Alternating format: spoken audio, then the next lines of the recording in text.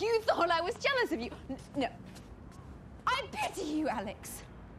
All I see is someone compensating for a crap personal life by schmoozing his way up the career ladder. Crap, crap personal life. All right, let's see. Um, stable relationship with beautiful girlfriend, lots in common, a great circle of friends, a kid on the way who's going to have two parents, by the way, not one.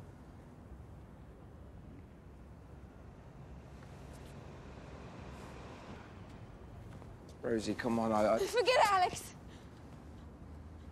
Go ahead and climb your greasy pole. Do you know what? I will. Just don't come whinging to me when you realize that you're empty inside. No danger of that. Good.